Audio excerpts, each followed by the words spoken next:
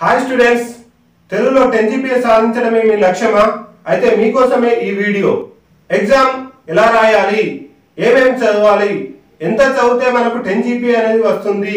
ఎలా రాస్తే ten GPA వస్తుంది? అనే ప్రశ్నలకు సమాధానం చెప్పడం కోసమే నేను వచ్చాను.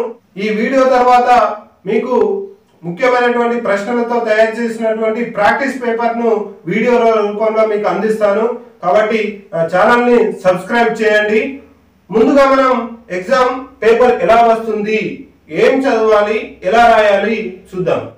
ఓకే స్టూడెంట్స్ మీరు ఎనభై మార్కుల కోసం రాయాల్సినటువంటి క్వశ్చన్ పేపర్ ఇటుపక్క ఉంది అలాగే చదవాల్సినటువంటి పాఠాలు ఏంటనేటువంటి ఇటుపక్క ఉంది చూడండి.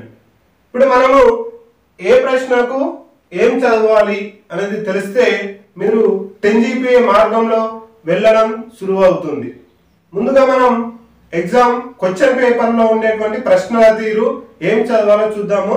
ఇక్కడ అవగాహన ప్రతిస్పందన బిట్ కోసము మనకు ఇరవై మార్కులు అనేటువంటి ఇస్తారు. ఈ ఇరవై మార్కులలో మనకు మూడు రకాల ప్రశ్నలు ఇచ్చాడు ఈ మూడు రకాల ప్రశ్నలలో మొదటి ప్రశ్న పరిచిత గద్యం. పరిచితము అంటే మీకు తెలిసినటువంటిది. ఏంటిదా తెలిసినటువంటిది? రామాయణం. రామాయణంలోంచి ఒక పేరా ఇస్తాడు. ఆ పేరా కింద ఐదు ప్రశ్నలు ఇస్తాడు. ఆ ఐదు ప్రశ్నలకు సమాధానాలు రాస్తే మీకు ఐదు మార్కులు అనేటువంటివి వస్తాయి. ఆ ఐదు మార్కులు రావడం అనేది చాలా ఈజీ. అది ఎలాగన్నది నేను గత వీడియోలో చెప్పాను. ఆ వీడియోకి సంబంధించినటువంటి లింక్ కింద డిస్క్రిప్షన్లో ఇచ్చాను. మరొకసారి చూడని వాళ్ళు చూడండి. తర్వాత పరిచిత పద్యము. పరిచిత పద్యము అంటే మనకు టెక్స్ట్ బుక్లో ఉండేటువంటి చుక్క పద్యాలు ఉన్నాయి కదా పద్య భాగానికి సంబంధించిన పాఠాలలో. ఆ వాటిలలోంచి మూడు ప్రశ్నలు ఇస్తాడు. ఆ మూడు ప్రశ్నలు ఎలా ఇస్తాడు? రెండు ప్రశ్నలేమో పద్యం భావం రాయమని చెప్పి. ఒక ప్రశ్ననేమో ప్రతిపాదత రాయమని చెప్పి ఇస్తాడు. ఇది పది మార్కుల ప్రశ్న. ఈ పది మార్కుల ప్రశ్న కోసం మనకు పద్య భాగంలో చూడాలి మీకు నాలుగు పాఠాలు ఉన్నాయి. ఆ నాలుగు పాఠాలలో మొదటి మూడు పాఠాల్లో మాత్రమే మనకు చుక్క పద్యాలు ఉన్నాయి. నాలుగో పాఠం అనేటువంటిది పద్యం కాదు. కాబట్టి ఈ ఇచ్చిన మూడు పాఠాల్లోంచి మనకు మూడు ప్రశ్నలు ఇస్తాడు. ఇక్కడ చెప్పారు కదా రెండు పద్యము భావము రాయమని చెప్పిస్తాడు ఒకటి మాత్రము ప్రతిపదార్థం రాయమని ఇస్తాడు. కాబట్టి మీరు ఈ మూడు పాఠాల్లో ఉండేటువంటి పద్యాలు ప్రతిపాదక తాత్పర్యాలు మొత్తం చదివి అది ఒక పెద్ద బరువుగా భావించకుండా దానశీలము వీర తెలంగాణ పాఠంలో ఉండేటువంటి చుక్క పద్యాలు వాటి యొక్క భావాలు మాత్రమే చదవండి. ప్రతి పదార్థాలు చదవలసిన అవసరం లేదు. ఆ ప్రతిపదార్థ తాత్పర్యాలు అనేటువంటి ఛాయిస్ కింద వదిలేద్దాం. ఇంకా దానశీలంలో మూడు చుక్క పద్యాలు ఉన్నాయి. వీర తెలంగాణలో మూడు చుక్క పద్యాలు ఉన్నాయి. మొత్తం కలిపి ఆరు చుక్క పద్యాలు ఉన్నాయి. ఈ ఆరు చుక్క పద్యాలు వాటి యొక్క భావాలు హండ్రెడ్ పర్సెంట్ మీరు చదివినట్టయితే ఈ బిట్కు సంబంధించిన పది మార్కులు మీకు వస్తాయి. సరే కొందరు అడుగుతారు శతక మధురిమ లోపల కూడా చదవచ్చా? అంటే చదవండి. అయితే చదువు ఇక్కడ ఎన్ని ఉన్నాయి ఆరు చుక్క పద్యాలు ఉన్నాయి.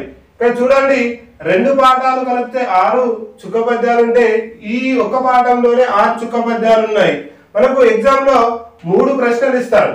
మూడు ప్రశ్నలు ఇచ్చినప్పుడు ఒకదానికి మాత్రమే సమాధానం రాయాలి.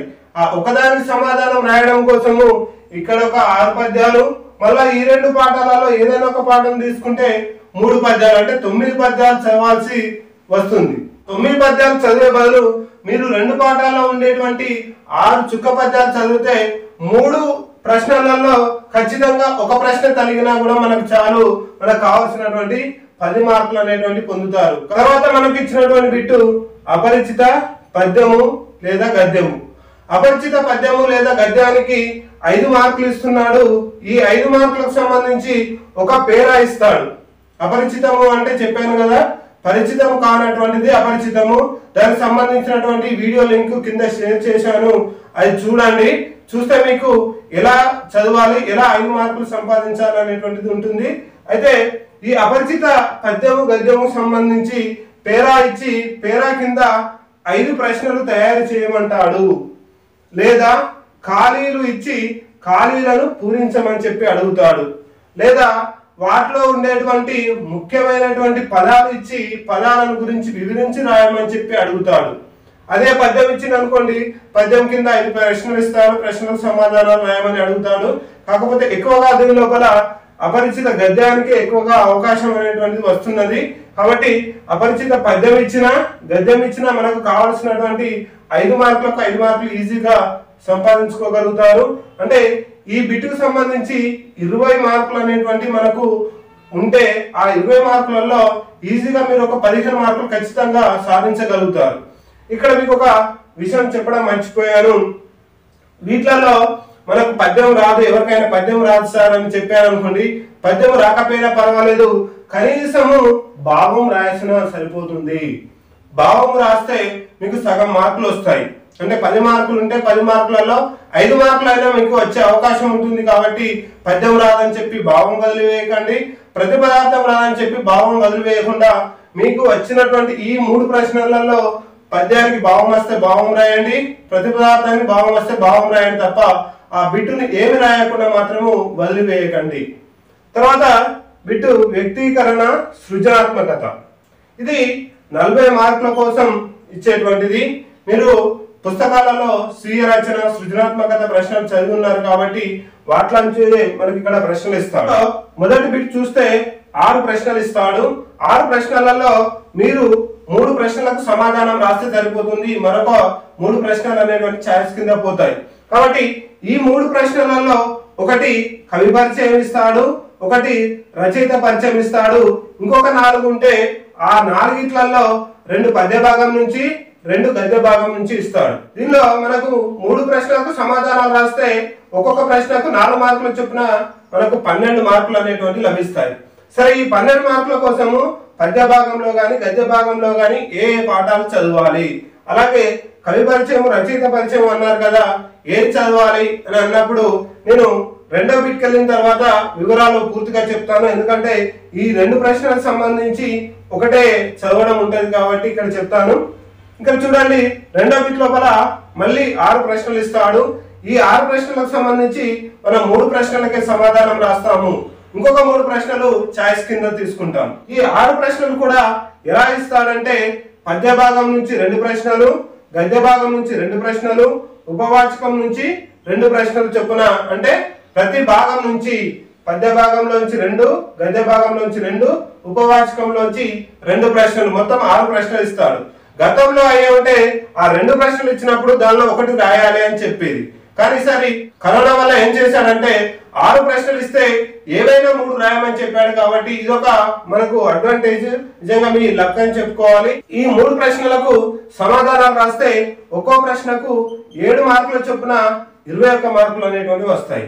మరి ఇక్కడ పన్నెండు మార్కులు ఉన్నాయి ఇక్కడ ఇరవై ఒక్క మార్కులు ఉన్నాయి. ఈ రెండింటి కోసము ఏ ఏ పాఠాలు చదవాలి? అంటే ఇక్కడ చూడండి పద్య భాగంలో ఉండేటువంటి దానశీలము తర్వాత వీర తెలంగాణ తర్వాత జీవన భాష్యము. అంటే మీరు లాంగ్ క్వశ్చన్ అయినా షార్ట్ క్వశ్చన్ అయినా పద్య భాగానికి సంబంధించి దానశీలము నెక్స్ట్ వీర తెలంగాణ జీవన భాష్యము. ఈ మూడు పాఠాలు చదవండి. లాంగ్ క్వశ్చన్ అయినా షార్ట్ క్వశ్చన్ అయినా ఈ మూడు పాఠాలు మనకు సరిపోతుంది. తర్వాత గద్య భాగానికి సంబంధించి. గద్య భాగానికి సంబంధించి ఇక్కడ వరుసగా మూడు పాఠాలు. ఎవరి భాష వాళ్ళకు వినసొంపు? నెక్స్ట్ భాగ్యోదయము తర్వాత లక్ష్య సిద్ధి ఈ మూడు పాఠాలు వరుసగా మూడు పాఠాలు చదివినట్టయితే మనకు కావాల్సినటువంటి ఈ పన్నెండు మార్కులకు ఇరవై ఒక్క మార్కులకు సంబంధించినటువంటి పూర్తి సమాధానాలు రాయగలుగుతారు. అంటే మీరు పద్య భాగంలో మూడు పాఠాలు చదువుతున్నారు గద్య భాగంలో మూడు పాఠాలు చదువుతున్నారు. అంటే మొత్తం మీరు ఆరు పాఠాలు మాత్రమే చదువుతున్నారు. తర్వాత సరే మరి ఉపవాచకం సంగతి ఏంటి అనవచ్చు ఇక్కడ ఉపవాచకం లోపల మీకు ఆరు కాండాలు ఉన్నాయి. ఆరు కాండాలు చదివే బదులు మీరు పద్య భాగంలో మూడు గద్య భాగంలో మూడు ఆరు పాఠాలు చదివినట్టయితే షార్ట్ క్వశ్చన్ లాంగ్ క్వశ్చన్స్ అనేటువంటి మీరు రాయగలుగుతారు. సరే కొందరు అడుగుతారు సార్ మేము ఉపవాచకం బాగా రాయగలుగుతాం సార్. పద్య భాగం మాకు కష్టంగా ఉంది అని అంటారు. Okay no problem. మీరు పద్య భాగం వదిలేసి గద్య భాగంలో మూడు పాఠాలు ఉపవాచకంలో మొత్తం ఆరు కాండాలు చదవండి. లేదు మేము గద్య భాగం రాయం సార్. పద్య భాగంలో ఉపవాచకం రాస్తామంటే సరే పద్య భాగంలో ఉండేటువంటి మూడు పాఠాలు చదవండి ఉపవాచకంలో ఉండేటువంటి ఆరు కాండాలు చదవండి సరిపోతుంది. అది మీ మీద ఆధారపడి ఉంటుంది. చదివేవారు మీరు కాబట్టి మీరు ఈ ఛాయిస్ అనే దాని లోపల మీ ఛాయిస్గా తీసుకోండి. నేను చెప్పేటువంటి ఛాయిస్ లోపల మాత్రం పద్య భాగంలో ఈ మూడు పాఠాలు గద్య భాగంలో ఈ మూడు పాఠాలు చదివితే సరిపోతుంది. ఉపవాచకం మొత్తం నేనేం చేశాను? ఛాయిస్ కింద తీసుకోమని చెప్తున్నాను. తర్వాత వీటికి వస్తే మూడవది ఏంటి? సృజనాత్మకతకు సంబంధించినటువంటి మూడు ప్రశ్నలు ఇస్తాడు. మూడు ప్రశ్నలలో ఒక ప్రశ్నకు మాత్రమే సమాధానం రాయాలి. ఈ ఒక ప్రశ్నకు ఏడు మార్కులు ఇస్తాడు.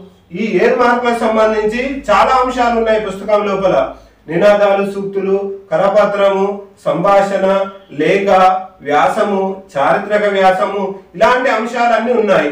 మరి వీటిలలో ఏది చదివితే సరిపోతుంది? మొత్తం చదవాలా? లేకపోతే ఏది చదివితే సరిపోతుంది? అన్నప్పుడు నేను చెప్పేటువంటిది ఏంటంటే లేఖ కరపత్రం వ్యాసం సంభాషణ ప్రశ్నావళి. ఇప్పటి వరకు ఎగ్జామ్లో వచ్చినటువంటి ప్యాటర్న్ చూసినట్టయితే ప్రశ్నల యొక్క సరళి చూసినట్టయితే ఈ ఐదు అంశాల నుంచే ఎక్కువగా ప్రశ్నలు అనేది ఇస్తున్నాడు.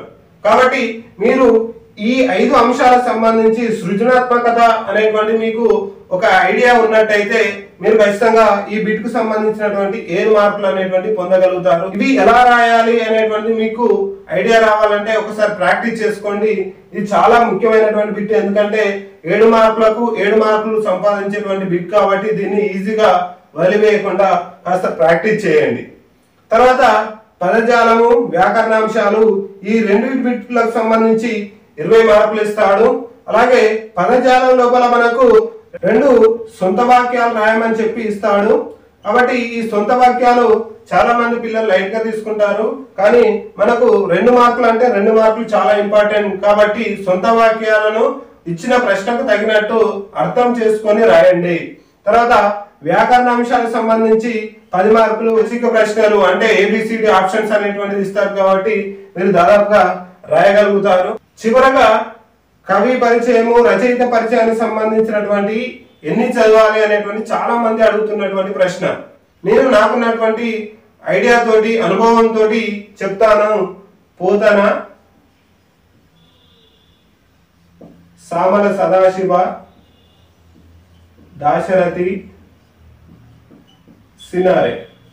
ఈ నలుగురి యొక్క కవి రచయిత పరిచయాలు చదువుకోండి. దాదాపుగా వీటిలోంచి మీకు వచ్చే అవకాశం ఎక్కువగా ఉంది కాబట్టి పోతన సామల సదాశివ దాశరథి కృష్ణమాచార్య శ్రీ నారాయణ రెడ్డి కవి మంచిగా చదువుకొని ప్రాక్టీస్ చేసుకోండి.